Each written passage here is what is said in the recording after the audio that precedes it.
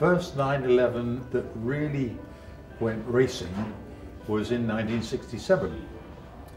And I was responsible for it.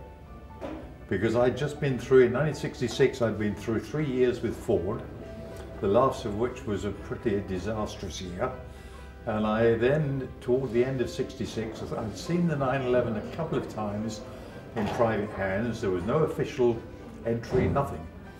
But Baron Huschke von Hanstein, who was then the Porsche competition manager, I went to see him before the end of 66 and I said, look, this car I know is going to be a winner. I want to drive it. And he said, well, the problem is we have no rally budget. I was a rally driver specifically then before Pickering Racing. We have no rally budget. We have no rally department. Uh, Ferdinand Piëch is not even interested in rallies, which he wasn't at that time. So I'm afraid, you know, nothing. So I said, I'll tell you what, Huschke, lend me one. Just lend me a 911 to go for the Tour of Corsica at the end of the year. And, and I'll show you what I'm sure this car is going to be able to do. So he said, okay, I'll lend you a car. That's it, a car, a couple of mechanics and a little service, that's it. No money, no practice car, no expenses. You do it all on your own. So I, you know, it was costing me quite a bit of money to do that because I wasn't. None of us made a lot of money in those days. Uh, there was the risk involved. More to the point, uh, all the press and those who had driven 911s at that time said the car is a monster. It oversteers. It crashes backwards at the, uh, at the mere sight of a corner. So I knew I was going to have to learn to drive it as well. And the Tour of Corsica was literally 24 hours it used to be known as the Rally of 10,000 Corners because mm. it's 24 hours around tight, twisty mountain roads of Corsica. So the first thing I had to do was learn to drive the car. And I discovered to my immense joy that it wasn't an oversteering monster at all. In fact, it basically it's an understeering car. Even very early ones were. And what you did with it was up to the driver, not up to the car. So I spent 24 hours learning to drive it. I finished third in that first event. And then we went back to Stuttgart and Porsche said, maybe he's right. So still no contract, but at least I was going to get paid for the next event, which was the Monte Carlo Rally in 1967.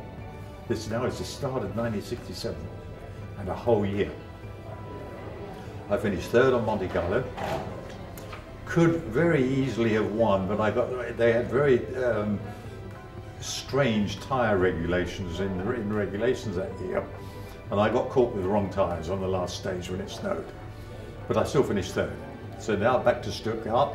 Now there was enthusiasm. Yeah. What are we going to do next? The next up was the Geneva Rally, right. still part of the European Rally Championship, and I won it. Next up after that was Stuttgart Lyon Charbonnières Rally, still counting for the European Championship.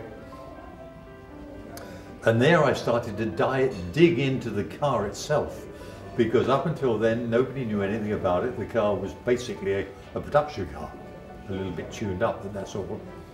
And then I discovered there were all sorts of extras in a Porsche 911 that other manufacturers didn't have. For a start, we had a five-speed gearbox. Everybody else had four.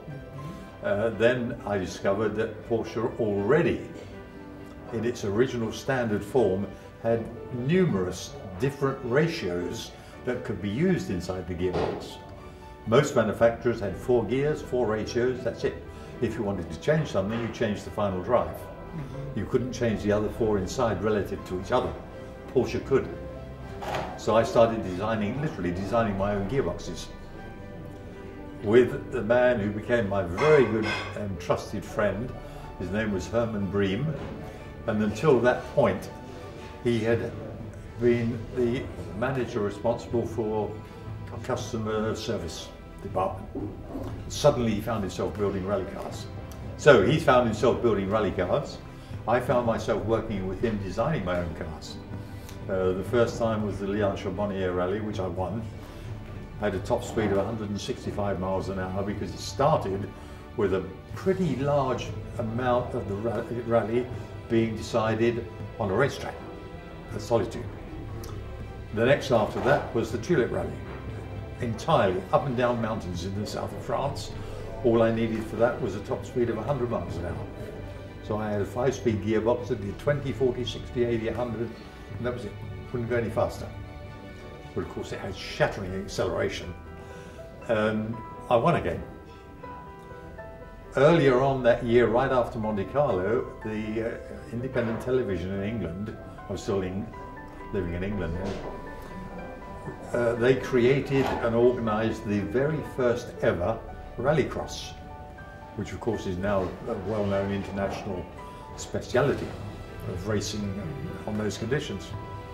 Uh, I didn't have a car to do it in. They would say after Monte Carlo, you must come and do this in a 911. Well, I didn't have one. There wasn't one available, so I went to the importers in England, which was then a private company, and asked if they could lend me one. They said, well, we don't really have one. We'll lend you our showroom stock demonstrator.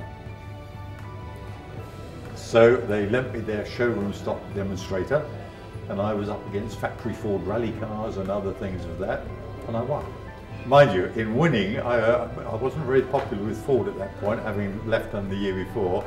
My car was assaulted by the Fords throughout. By the time I took it back on Monday morning, this beautiful sharp showroom stock car was dented all around.